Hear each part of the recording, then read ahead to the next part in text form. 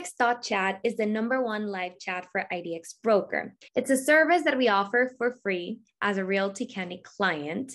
And today I want to show you some updates we've made on the site. So, first of all, we have a brand new look of our landing page.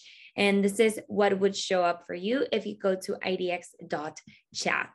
It's much more modern and has all of the information about the platform. If you click on register, it will take you to a form for you to fill out. If you already have an IDX broker account and you add in your email and API key, it will sign you up to either premium for free or light for free. For premium for free, you have to switch to be our partner. Everything stays the same but you become our client. And light for free, you have limited options, but you don't have to switch over to us. So let's log into the platform and let me show you the new changes that we have. So this is the regular dashboard where all of the chats go in and it says Realty Candy because I'm using our demo account, our realtycandy.idxbroker.com account.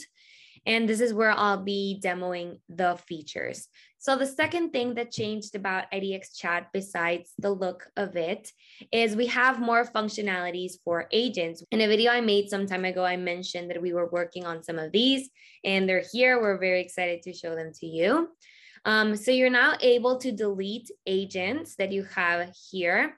So if you activate an agent and then you decide you want to delete them from IDX chat, you can do so here. Activating them just requires for you to set a password for the agent account.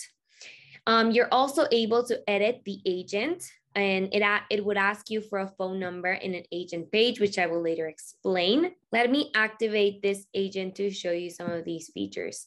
So I'm going to make the password be one, two, three, four. Obviously, this is a demo account. This is not a real password. Don't use this password when you're creating your agent's account. Just use a password that you and your agent are aware of. So we've just activated Louisa Ann as an agent, and I'm going to be editing um, their information. So you're able to add a phone number so that this agent gets SMS alerts when there is a chat assigned to the agent. And you can also choose if you want this agent specifically to show up in a specific page. So first I'm going to be showing you the agent page functionality. So this is the Realty Candy page. When I click on this chat, it's going to be showing Alice Agent as default. This is because we made a priority list and Alice Agent is the number one, hypothetically. And I'm going to be explaining this later as well. So imagine that I want an agent to appear on this page and I want to assign that agent. So I don't want that to be linked to any priority list. I will grab this URL and I will go to Louisa Ann and I will add this URL for the agent and I will click on save. So let me go back and refresh this page. And now Louisa Ann is showing as the agent. So if somebody signs in here and starts sending chats, um, they will be going to Louisa Ann.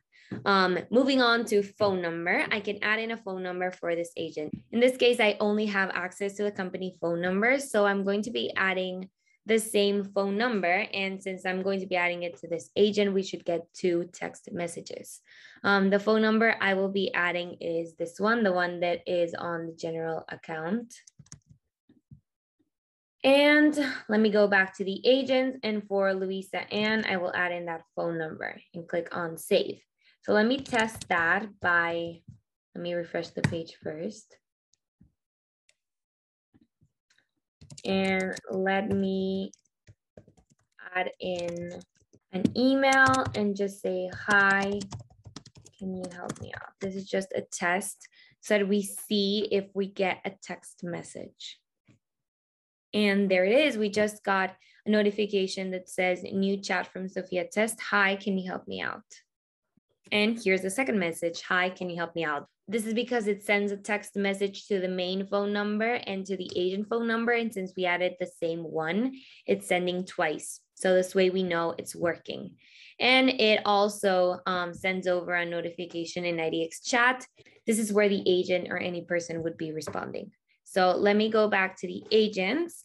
So these are two other functionalities that we added in. And we also added in a routing option, which was what I was talking about earlier. We have three options for you to route um, your agents. because it might be hard to decide who gets to respond to a chat at any given time.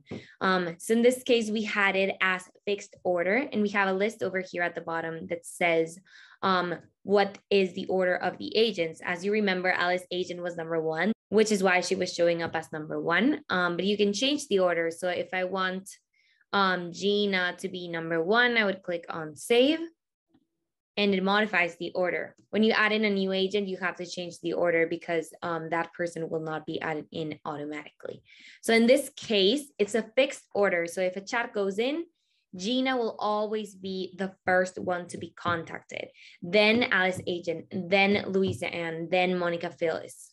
So this order never changes. It's always going to be um, this way.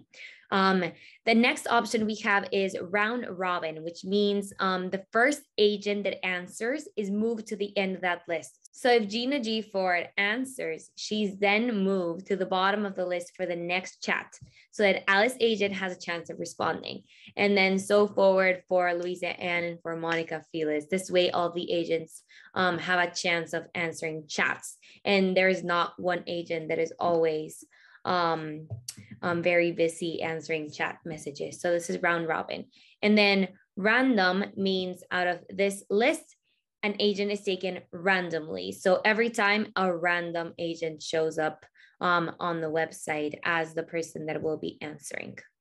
We really hope these features help you out um, and make you um, take advantage of IDX chat and make sure there's always somebody answering your leads messages on your site because that is the most important thing to convert these leads into clients.